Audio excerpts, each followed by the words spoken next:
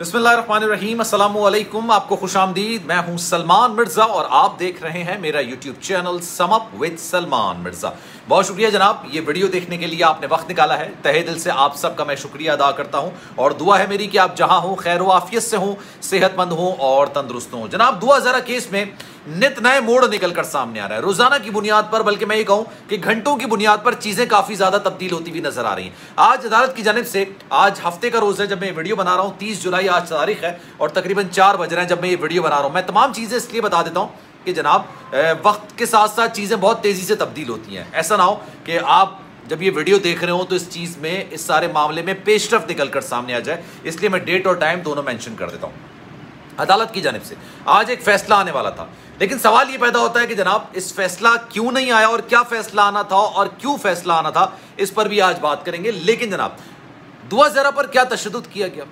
دعا زیرہ کو کیا نشاور ادویات دی گئی؟ دعا زیرہ کو کیا واقعی میں حب سے بھیجا میں رکھا گیا تھا؟ دعا زیرہ کے ساتھ کیا زیادتی کی گئی؟ جناب، یہ تمام ایک اہم سوال ہیں جو کہ اٹھائے جا رہے ہیں۔ سوشل میڈیا پر بھی، پریس میں بھی بہت ساری جگہوں پر یہ سوالات اٹھائے جا رہے ہیں کہ جناب، دعا زیرہ ظاہر سی بات ہے، اگر مائنر تسلیم کر لی گئی ہیں اور جو میڈیکل بورڈ میں ان کی رپورٹ نکل کر سامنے آئی ہے کہ ان کی عمر پندرہ سے سولہ سال کے درمیان ہے، تو مائنر ہی تسلیم ہوں گی نا؟ چائلڈ میرج کے زمرے میں آئے گا جو بھی سارا معاملہ ہوا، جو واردات ہوئی، چاہے وہ پنجاب میں ہوئی ہو چاہے وہ سندھ میں ہوئی ہو چاہے کراچی میں ہوئی ہو، چاہے لاہور میں ہوئی ہو، چائلڈ میرج جو ایک جرم ہے، وہ واردات تو ہوئی ہے نا، تو اس کا مطلب ہے کہ جرم ہوا ہے اور اسی ساری چیزوں کے معاملات چل رہے ہیں۔ لیکن ایک ٹیسٹ ہوا تھا، آپ کو یاد ہوگا۔ پہلے ایک ٹیسٹ کیا گیا جس میں دعا زیرہ کی عمر سترہ سال نکل گئی۔ پھر ایک ٹیسٹ کیا گیا جس میں دعا زیرہ کی عمر پندرہ سے سولہ سال کے درمیان نکل کر آئی ہے۔ اب ایک اور ٹیسٹ کرنے کی بات کی جا رہی ہے۔ ایم ایل او کرنے کی بات کی جا رہی ہے۔ میڈیکو لیگل اوپینین کی بات کی جا رہی ہے۔ سب سے پہلے ہمیں یہ سمجھنا ہے جناب، میڈیکو لیگل اوپینین کی ضرورت کیا ہے؟ جب بچی کی عمر پندرہ سے سولہ سال کے درمیان آ چکی ہے تو میڈیکو لیگو اوپینین کرنے کی ضرورت کیا ہے؟ یا کس لیے ٹیسٹ ہوتا ہے؟ جناب، یہ ٹیسٹ اس لیے ہوتا ہے کہ کیا آپ کو کوئی نشاور ادویات دی گئی؟ کیا آپ پر تشدد کیا گیا اور تشدد کیا گیا تو کس نوعیت کا تشدد کیا گیا اور اگر جس نوعیت کا تشدد کیا گیا اس سے آپ کس حد تک کہاں کہاں کیسے کیسے متاثر ہوئے؟ اگر اللہ نہ کرے کسی کے ساتھ، کسی بچی کے ساتھ، کسی خاتون کے ساتھ، کسی لڑکی کے ساتھ زیادتی ہوتی ہے تو میڈیکو لیگل اوپینین یعنی اس کا میڈیکل کروایا جاتا ہے، یہ میڈیکو لیگل اوپینین ہوتا ہے۔ اس سے اس بات کا اندازہ لگایا جاتا ہے، اس بات کا کافی حد تک اندازہ لگ سکتا ہے کہ کیا کیا اس کے ساتھ بچی کے ساتھ، خاتون کے ساتھ، متاثرہ خاتون کے ساتھ معاملات ہوئے۔ تو جناب، یہ کیوں ضروری ہے اور کیا اس میں پیش رفت ہوئی ہے؟ یہ میں آج آپ کو بتانے جا رہا ہوں، لیکن آگے بڑھنے سے پہلے آپ سے گزارش کروں گا۔ اگر آپ نے میرا چینل سبسکرائب نہیں کیا، سلمان مرزا آفیشیل میرے یوٹیوب چینل کو سبسکرائب ضرور کیجیے۔ بیل آئیکن ضرور دبائیے۔ انسٹاگرام پر اگر آپ مجھ سے رابطہ کرنا چاہیں، کوئی بھی سوال آپ کے ذہن میں ہو، کوئی بھی بات آپ کرنا چاہیں جناب، آپ مجھے وہاں پر میسج کیجیے۔ Salman dot M R Z double A کے نام سے میرا اکاؤنٹ ہے، اس کو فالو کیجیے۔ اور جو آپ میسج کریں گے، انشاءاللہ میں ضرور آپ کو رپلائی کروں گا۔ میڈیکو لیگو اپینین بولنے میں تھوڑا سا مشکل ہے جناب۔ لیکن یہ اس لیے کروانے کی بات کی گئی۔ گزشتہ روز جمعے کا روز تھا۔ جناب، جو اس کے تفتیشی آفیسر ہیں، انہوں نے بھی اس بات پر زور دیا کہ دعا زہرا کا یہ ٹیسٹ ضرور ہونا چاہیے، لازمی ہونا چاہیے۔ سوشل میڈیا پر کافی زیادہ باتیں کی جا رہی ہیں۔ سوشل میڈیا پر کافی زیادہ اس کو ایشوز بنایا جا رہا ہے اور اس سارے معاملے میں جو دوسری طرف کا گینگ ہے نا، جو اس کی یوٹیوبرز ہیں، ہینڈلرز ہیں سہولت کار ہیں، وہ بھی اس سارے معاملے کو بہت زیادہ سوشل میڈیا پر اٹھا رہے ہیں۔ ان کے خلاف کارروائی کا آغاز تو کر دیا گیا ہے جو لوگ لائیو سیشن میں بیٹھ کے عدالت عدالت کے معاملات، عدالت کے فیصلوں پر نکتہ چینی کر رہے ہوتے ہیں، اس پر رائے دے رہے ہوتے ہیں، ججز پر رائے دے رہے ہوتے ہیں، ان سب کے خلاف کارروائی کا آغاز کر دیا گیا ہے اور مین ہینڈلر جو اس سارے معاملے کی ہیں، جنہوں نے سارے معاملے کو ایک الگ ہی رنگ دینے کی کوشش کی۔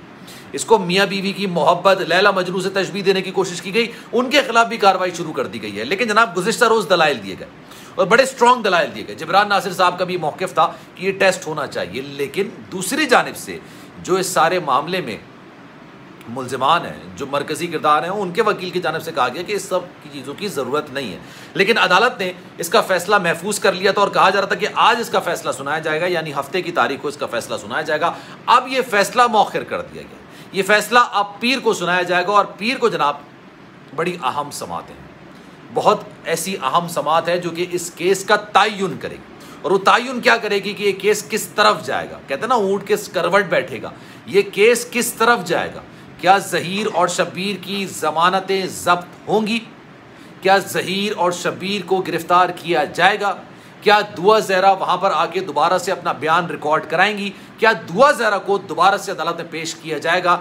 یہ وہ سوالات ہیں جن کے جوابات پہلی تاریخ کو مل جائیں گے۔ پہلی تاریخ کو ہی پولیس اپنی حتمی رپورٹ عدالت میں پیش کرائے گی۔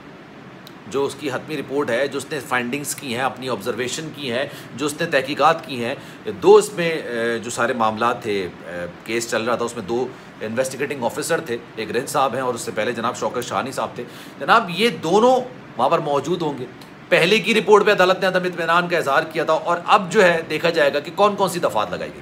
لیکن جناب، نکاح عدالت نے ہی متنازع قرار دیا گیا ٹھیک ہے؟ تو نکاح کے بعد جو معاملات ہوں گے وہ زنا میں زمرے میں آتے ہیں۔ تو اس لیے میڈیکو لیگو اوپینین کرانے کی بات کی گئی ہے کہ کیا بچی کے ساتھ زیادتی ہوئی ہے، کیا اس کو منشیات دی گئی ہیں، کیا اس کو ایسی دوائیں دی گئی ہیں جس سے اس کا ذہن معاف کیا جا سکتا ہے، یا اس کو کسی قسم کے انجیکشنز لگوائے گئے ہیں، یا اس طرح کی باتیں کی گئی ہیں۔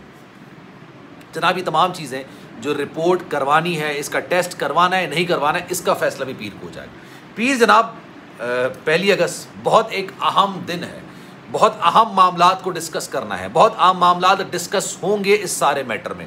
لیس سی جناب کیا نکل کر سامنے آتا ہے۔ لیکن اگر میڈیکو لیگو رپورٹ میں یا اس کے اوپینین میں یہ بات نکل کر سامنے آتی ہے کہ بچی کے ساتھ زیادتی کی گئی، کیونکہ نکاح تو نہیں ہے نا۔ اگر زیادتی کی گئی تو ظہیر پر ایک اور کیس درج ہو جائے گا۔ اور اس سارے معاملے میں دونوں بھائیوں کے درمیان ہی بڑی زبردست قسم کی لڑائی اور رسہ کشی نظر آ رہی ہے۔ شبیر نے سارا معاملہ ظہیر پر ڈال دیا۔